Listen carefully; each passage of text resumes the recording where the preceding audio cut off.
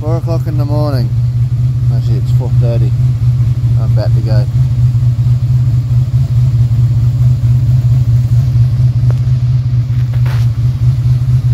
It's gonna be cold. Well, doesn't feel too bad, but yeah, at the moment. Could be worse. Could be raining.